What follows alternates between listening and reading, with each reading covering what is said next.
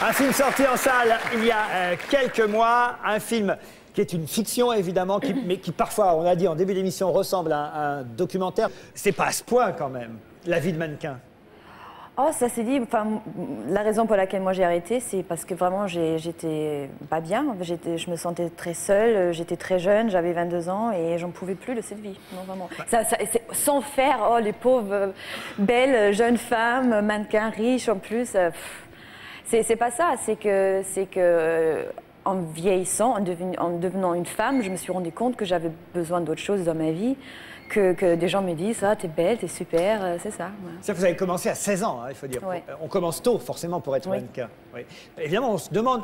Évidemment, c'est pas biographique du tout, ce, ce film. hein. Vous n'avez pas vécu ce que vit Francky, euh, Pas à ce point-là, celle non. que vous jouez dans, dans ce film. À part la solitude, vous dites. Oui. Mais c'est quoi la solitude d'un mannequin, alors? Bah, c'est- C'est-à-dire qu'on est toujours seul. C'est- quand même des années euh, qui vous construisent. C'est-à-dire, j'ai arrêté l'école à, à 16 ans. Euh, je suis arrivée à Paris, je parlais pas un mot français. Euh, J'étais tout le temps dans les avions. Euh, je n'avais pas le temps vraiment de me faire des amis, ni d'avoir un petit ami vraiment. Donc forcément, enfin, en fait, j'avais un- un- une vie. d'a- Regardez Basile Boli, il aurait bien fait garde du corps, lui. Non, mais en fait, j'avais une vie d'adulte et je- je- j'en étais pas une. Eh Donc, euh, et euh, ça- le temps, en fait, m'a rattrapée très violemment à, à 22 ans, vraiment. C'est un métier très violent. En tout cas, ce qu'on voit dans le film, évidemment, est très très dur. On, on la voit, cette pauvre Frankie, euh, errer de shooting en casting et se demander, parce qu'elle devient trop vieille, c'est ça le problème. Euh, non mais c'est vrai, c'est terrible. On, on est vieille à, à quel âge quand on est mannequin? Oh, enfin, on commence à travailler un peu moins à 26 ans. ouais. À 26 ans. À 26 ans, on est déjà hors circuit quasiment? Non, mais bon, Ou après alors ça. il faut être top modèle. Voilà, c'est ça, c'est ce que j'allais dire. Il y a des, des filles qui sont vraiment euh, dans les 10 filles au monde qui travaillent, et puis euh, ça peut aller jusqu'à, je sais pas, 30, 35 ans. Alors, le chef de l'agence Elite, euh, l'agence de mannequins pour laquelle euh, vous avez travaillé, joue dans le film Oui, aussi. Il- joue son propre rôle, ouais. Alors ça c'est assez étonnant, parce que quand même c'est- pas tendre pour le milieu du mannequinat, et lui alors qu'il dirige une agence de mannequins, il accepte de jouer dans ce film. Bah, parce qu'au moins, il, il dit la vérité en face. C'est que ça peut être un, un- un travail génial. Et moi, personnellement, je, je retiens des très bonnes choses. Mais ça peut être très cruel et je pense que lui-même est très conscient de ça. Je trouve que c'est une histoire vraiment à montrer aux jeunes filles. Euh, c'est un miroir à notre société qui est quand même obsédée par la jeunesse et la beauté. Et qu'il faut montrer aussi que ces filles-là, juste parce qu'ils sont belles, ça ne veut pas dire qu'ils n'ont pas de sentiments et qu'ils n'ont pas. euh, ils sont seuls au monde aussi, donc il faut, faut montrer ça aussi. Vous voulez réagir, Éric Zemmour? Moi, je pense que si, euh, quand ma fille sera grande, je ne sais pas si je la laisserais devenir mannequin si elle pouvait. Je pense que c'est une vie très peut- dure et très cruelle. Et, Ça euh, peut, ça peut l'être, mais vous savez, par exemple, moi, c'est ce que je disais, je viens d'un milieu, euh, vraiment, je viens de la campagne, euh, en Allemagne, un peu vraiment perdu. Et ça m'a quand même porté énormément de chance. Non, vraiment, je, je me, je me sens très chanceuse. Je suis aujourd'hui, je vis en France, je ne suis pas français. J'ai habité aux, aux États-Unis. Donc, c'est. S'il y a des très bons côtés à prendre, malheureusement, des filles souvent sont très jeunes et euh, personne ne les guide non plus. À... Bon, après, c'est aussi l'intelligence de chacun qui fait. hein, mais bon. Alors, je, je l'ai é- é- entendu dans une émission il y a cette semaine, et elle a beaucoup parlé de, du goût des, des Allemands pour le travail et la passion. Elle n'a pas arrêté de le dire. Je veux dire que on m'aurait pas dit votre, votre nationalité d'origine, j'aurais dit allemande sûrement. Et le fait que vous confirmiez les clichés qu'on a sur les Allemands, ça me terrifie un peu. Moi-même, moi-même, je me terrifie. C'est terrible parce que toutes mes amies me rapprochent. c'est vrai, le Ah travail. ouais. Bah, non, c'est dans tout. Je peux pas m'empêcher. Je suis toujours à l'heure. Des fois, je fais le, le tour du coin, mais 15 fois parce que je suis même en avance. Je sais pas pourquoi. Ça me fait chier même. Je voudrais bien être la fille mystérieuse qui arrive au rendez-vous avec un quart d'heure de retard. Bah non, je peux pas. C'est chiant, c'est chiant. Ben, vous, vous réussissez quand même à être comédienne malgré ses qualités, on va dire. Et justement, euh, pour parler un peu de votre parcours artistique et de comédienne, on va vous montrer, euh, on va vous montrer différents partenaires, différents hommes qui ont jalonné votre carrière artistique. Vous allez réagir sur chacun, ça va permettre un peu de voir votre parcours. Première photo, si vous le voulez bien, Luc Besson évidemment. Alors, Ben, alors, Luc, en fait, je le rencontrais à, à 16 ans. J'arrivais à Paris et euh, je parlais pas du tout français. Et il faisait son casting pour le cinquième élément à l'époque. Et donc, euh, je n'ai pense- pas eu le rôle? Non, j'ai pas eu le rôle. Mais bon, c'est vrai que j'étais pas du tout pour. euh, Mais c'est lui qui vous a conseillé les cours Florent? Qui m'a dit tu devrais plutôt être comédienne que mannequin. Mais Ah, je l'ai pas écouté. J'étais mannequin pendant 5 ans après. Partenaire suivant. Ah, Denis c'est. c'est- En fait, j'ai tourné avec lui mon premier film. Et il joue mon père. Et euh, j'ai tout appris par lui. Mais vraiment, c'est-à-dire que j'ai jamais été devant une caméra de cinéma. J'étais encore au cours Florent. Et, euh, et c'était un film terrible, très nul, qui n'est jamais sorti au Vous dites cinéma. c'est un navet. Ah mais vraiment. Ah, j'ai regardé genre 10 minutes et j'ai dû arrêter parce que tellement c'était terrible. On l'a en Ah DVD. non, ah non, oh l'horreur, l'horreur. Et on va même en regarder un Oh extrait. non, oh non. Ce n'est pas parce que tu m'as envoyé faire mes études en Suisse que ça fait de toi un bon père. Je ne tiens pas à ce que ma vie ressemble à la tienne. Regarde ce que tu étais et ce que tu es devenu. J'ai honte d'être ta fille. Tu es un escroc.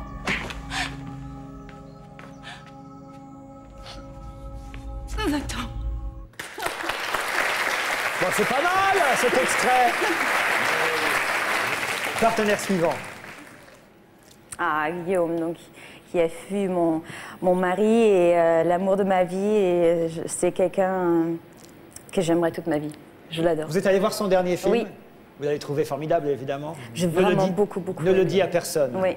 Hein. Ouais, ouais. Vous avez tourné avec lui son premier film, Mon idole. Ça a été un film important, ça? Ah, forcément. Euh, c'était donc la première fois que lui réalisait. Euh, c'est lui qui a écrit le scénario. C'est la première fois que je jouais en français, donc c'était, euh, ah oui, c'est des, des grandes premières. Je vois Michel Pollack faire mou. On disait qu'elle avait un français absolument parfait. Ah oui, je lui disais qu'elle avait. un- Non, mais c'est vrai. Heureusement, parce que l'accent allemand, il est très dur hein, en français. Très Oh, Romy. Schneider, elle avait un très bel accent. Ah, c'est vrai. Ah, c'est marrant que vous parliez de Romy Schneider parce que votre maman vous a dit, je crois savoir, si, Pourquoi tu veux devenir actrice? Tu, veux- tu- tu vas finir comme Romy Schneider. voilà, elle a une vie trop triste, trop malheureuse, ne fait jamais ça. Oui, non, c'est ça. Bah, bah, déjà, je viens pas du tout d'une famille euh, artistique. hein. Ma mère, elle, est, elle travaille dans une banque. euh, euh, elle voulait que je sois comptable, raté. Et euh, donc, elle comprend, elle comprend absolument pas pourquoi je, veux être comédienne. Quoi. Partenaire suivant. Bon, j'ai jamais tourné avec Georges Clooney. Ah, ben non, vous n'avez pas tourné avec Georges Clooney, mais vous l'avez croisé. Moi? Jamais. Ah, comment ça, jamais? Alors vous êtes une sacrée menteuse. Quand est-ce que je l'ai croisé? Bon, qu'est-ce que vous avez fait avec Joyeux Noël? Ah, on était aux Oscars. Oh, croisé. eh, vous- j'ai croisé beaucoup de monde ce soir-là. Oui, c'est vrai, j'ai Ah, croisé. Dans une interview, vous avez dit, ça me faisait tout drôle de prendre une coupe de champagne avec à côté Georges Clooney et je ne sais qui d'autre. il m'a pas mar- remarqué, je pense. C'est J'étais pas derrière. vrai. Enfin, C'est vraiment pas. un con, Clooney. Il s'intéresse plus qu'au... Il s'intéresse plus qu'aux capsules de café, ça doit être ça maintenant. hein. Vous appelé... Pouvez tomber amoureuse comme ça d'une star, ça pourrait vous arriver. Non, non, non, je rigole, mais c'est vrai que vous savez, euh, quand vous vous retrouvez, quand même, qui, qui a la chance d'aller aux Oscars? Quand vous êtes comédienne, je vous avoue, ça vous fait quelque chose. Peut-être vous pas, mais moi, ça m'a fait. Ça m'a Ah, fait. lui, non, c'est sûr. Non, mais je veux dire, j'hallucinais quoi. Et je peux vous raconter, je peux vous raconter pourquoi en fait ça m'a fait énormément de choses. Parce que Joël Noël, c'est un film qui me tient. Bon, je le dis ça pour Francky, mais je fais Joël Noël parce que mon grand-père était à la, Deuxième Guerre mondiale. Et son père est mort dans la première. Et donc, ce que ça raconte dans ce film, c'est la première fois que je jouais une Allemande en allemand. Et mon grand-père qui est venu à l'avant-première à Berlin, à l'opéra, donc il n'a jamais été à Berlin, et qui pleurait. Donc vous voyez mon grand-père en train de pleurer et qui dit aux producteurs français, vous savez, si on avait entendu ce, ce genre d'histoire peut-être avant, peut-être la Deuxième Guerre n'aura jamais été possible. Et, et voilà, c'est pour ça. Visage important, regardez. Ah, Peter O'Toole. Euh, donc dans 3, Le film de Wolfgang Petersen. voilà, qui, qui était mon, mon- mon premier grand euh, Avec Brad rôle, Pitt, Brad Orlando Bloom, voilà. Eric Bana. Vraiment, il y avait un sacré casting. hein. Oui. Euh, Ça fait quoi quand on se retrouve devant Brad Pitt ou Orlando Bloom ou... Bah, Orlando Bloom, Ou Peter euh, O'Toole? je, je l'embrassais, donc c'était génial. C'est vrai? Ouais, c'était pas mal. C'est vous qui êtes sur l'affiche, là? Oui. Et alors Peter O'Toole, il est comment? Il, est, il était très marrant parce C'est quand même Laurence d'Arabie, hein, faut pas oublier. Ouais, ouais. Et, ah, ma grand-mère, elle était jalouse. Elle voulait venir au, tourna- au tournage. Alors, c'était son premier amour. Mais euh, j'adore cet homme parce qu'il fumait tout le temps. Il fumait. Et il- c'est quelqu'un qui est un bon vivant, qui, enfin, je sais pas, je, je trouve ça génial. J'aimerais bien vieillir comme lui, en fait. Un partenaire encore. Ah, Ah, je Cage. Eric Zemmour. Non, c'est Nicolas Cage. Ouais, Non, c'est vrai, il te ressemble. que, que, que j'adore et donc d'ailleurs que je vais retrouver en janvier parce, Oui, parce que, que, là, vous l'aviez rencontré, vous avez joué avec lui pour Benjamin Gates, c'est le Trésor des Templiers, et vous tournez la suite. voilà en janvier et, euh, et j'adore mais vraiment carrément c'est quelqu'un de super excentrique drôle euh, euh, c'est drôle Oh, ah oui super drôle. Vous l'avez vu en vrai? Qui non il Elle a joue joué avec lui Donc Benjamin Gates, c'est le Trésor des Templiers. Et, vous- et- et- et elle va tourner la suite. Non, mais elle a une carrière internationale. C'est pas une petite Allemande comme ça qui débarque de n'importe où. C'est une vraie star qu'on a là, Zuzbegag. bah, nous, a- nous avions remarqué. Hein, quand même. vous avez aimé Ah J'ai j'ai aimé le film. Bon, c'est cool. Superbe. Une autre photo. c'est qui J'étais sûr de vous piéger. Enfin, je sais pas c'est qui Si je vous dis The Good German, Vous êtes méchant.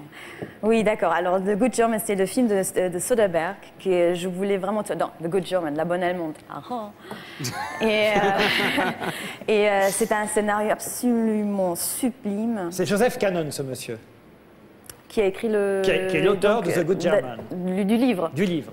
que je, que je n'ai jamais lu, mais euh, le scénario déjà était très bon. Et vous auriez voulu le rôle de ce film Bah ouais. Et j'ai même pas pu rencontrer. Enfin, ça faisait un an et demi quand même. je- J'essayais de, de, de convaincre. Et c'est elle qui a eu le rôle, Ouais, je sais. Ma, en même temps, c'est ma, mon actrice euh, préférée de tout Kate le temps. Blanchett. Donc, je pense que ça va être Alors quand on veut un rôle, et, et qu'est-ce qu'on fait pour l'obtenir? Qu'est-ce que vous avez fait? Bah ça, quand on est euh, en bas de, de l'échelle, euh, on essaye de On convaincre couche tout avec le producteur. Vous n'avez pas voulu faire ça? Non, malheureusement, non. J'étais Euh, mariée. mais- Laurent, tout à l'heure, Polak a, passé- a posé la même question. Quand on est ministre du bas de l'échelle, hein, qu'est-ce qu'on fait? Eh ben, on se débrouille pour monter. Avec C'est le exactement. président de la République. Vous n'avez quand même pas couché avec Villepin, Zuzbegag Mais non, Non, mais on se bat, je suis d'accord. mais depuis tout à l'heure, je remarque que ce qu'elle dit est proche du monde politique. Quand elle parle de solitude, des mannequins, par exemple, putain, moi, j'ai j'ai réagi. euh, Oh, pas solitaire, mon vieux. Eh, oh. Si, si, si, si. Nous en parlerons tout à l'heure après. Oui, on ne cherchez pas à prendre vos rendez-vous maintenant, monsieur Begag. Attention, vous êtes ministre. hein Ah oui, c'est vous vrai, n'avez pas retrouvé à la une de Voici avec Diane Kruger, quand même. Donc, passons. Vous la faites rougir, dites donc. Bah oui, euh, Eh, Vous aimeriez être la femme d'un ministre? Ah non, non. Ah non, non, non, Non, mais je suis peux, je peux démissionner assez rapidement.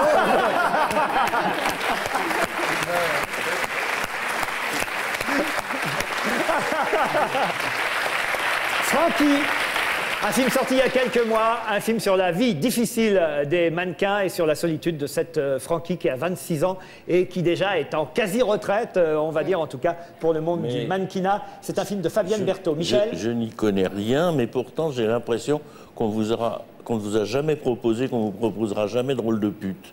C'est un compliment qui vous fait discrètement. Oui, c'est un compliment. Oui, oui, oui. discrètement, mais en même temps, euh, vous savez, j'aimerais bien jouer une pute. Il va vous demander pour combien maintenant Je vais vous demander, moi, de rejoindre votre fauteuil. Merci Diane Kruger. Francky, c'est en DVD. Il reste deux questions posées par des animateurs. Vous avez le choix entre Coé, Denise Fabre, Valérie Benaïm ou Patrick Sabatier. Oh, Patrick Sabatier. Parfait, allons-y. Est-ce qu'il y a quelqu'un qui partage ta vie aujourd'hui? Il y a plein de gens qui partagent ma vie. Bah, vous voyez, c'est ouvert. Autre question? Euh, comment il s'appelle déjà euh, Denise Fabre. Coé. Ah, Coé. Pardon. Excusez-moi. je- Personne ne prend Dans jamais quel Denise pays boit-on de la bière et mange-t-on des saucisses Oh, en France aussi. Hein. Ah oui. Euh, je suis désolée, euh, il y a beaucoup de gens qui, qui boivent du bière ici, ils mangent de la saucisse. Mais vous en mangez, vous La saucisse, On dit pas Michel dire. Pollack Vos questions sont tendancieuses depuis tout à l'heure